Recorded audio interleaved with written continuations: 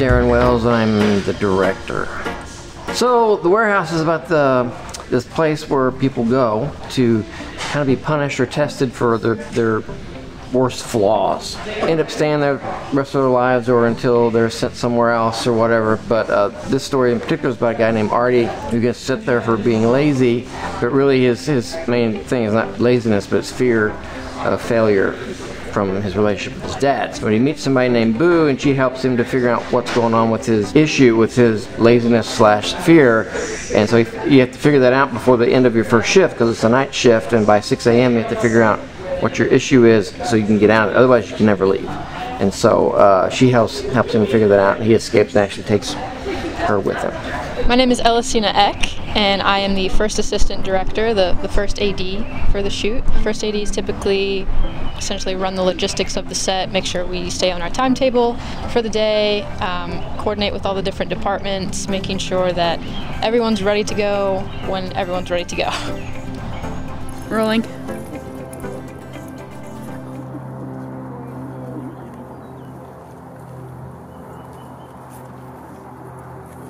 Good?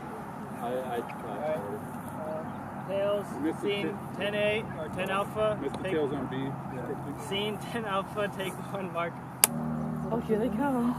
Here they come. Honestly, there's some pretty cows. They're very.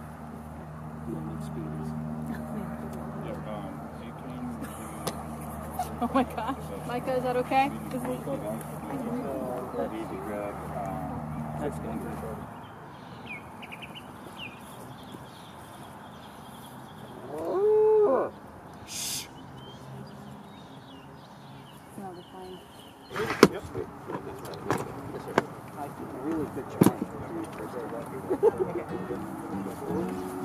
good.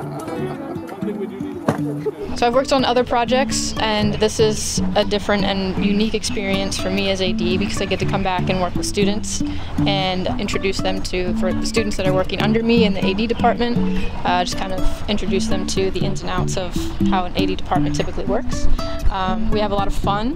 I have a lot of fun, anyways. It's different and unique in that we're working with people that don't have a ton of experience on sets, and there's a lot of freedom in there because we're um, you know, starting from ground zero, which is really fun. And yeah, it's, it's a blast. For the students and people working on this, I hope for, for them they can get out of this just the experience of working on a larger set and what it's like to be on a larger set so that when they actually go out and try to get uh, jobs in the industry, they can walk on a, a large set, a Marvel set or whatever, how big it is, and not just be overwhelmed with how big it is and the immensity of it. They'll, they've been on a big set before, and so it's not that won't be that big of a deal to them. So they can just go right to work and, and not be intimidated. My hat on straight, I can't stand it when it's not on straight. My name is Micah Senga. Here I'm the um, best boy, so I'm, I basically like manage the truck, the grip truck. There's a lot of differences because um, we have someone who's been working in the industry for quite a while, so he has a lot of things that are like really particular that I'd never learned before. Like even some like basic things about how to set up a, a combo stand in a way that sets you apart from other grips that haven't been like in a union. That's been really cool being able to learn all of that, all of that stuff. lights, ballasts, ballast cables, all these sorts of things that we're going to use to illuminate the set. And I've been listening to my key gaffer and listening to what he wants us to get. And uh, we've kind of been doing that. And on set, it's going to be more of sort of a team effort where he tells us what lights we need or where he wants them.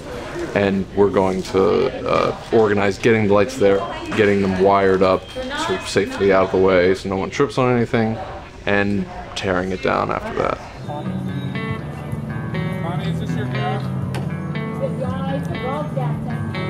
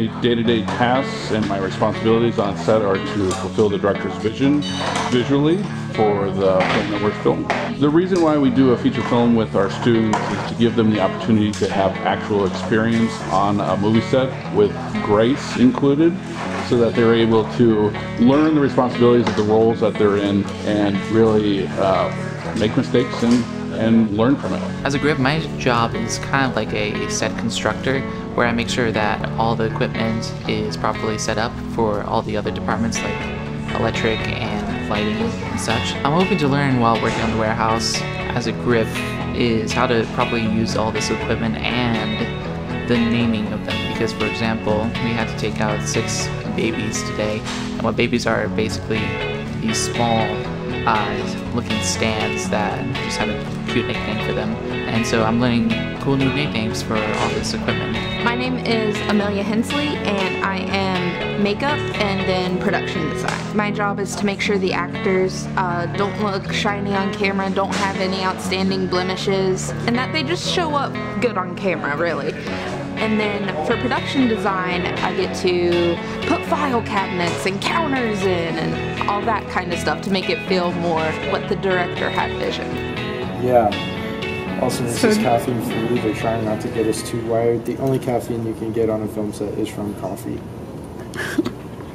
Have you tried the coffee here? It's coffee. I, I didn't know there was coffee. I think they're supposed to be. There's coffee.